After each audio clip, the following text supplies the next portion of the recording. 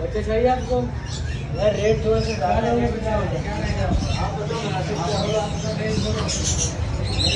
ज़्यादा रेट ज़्यादा मेरा बच्चे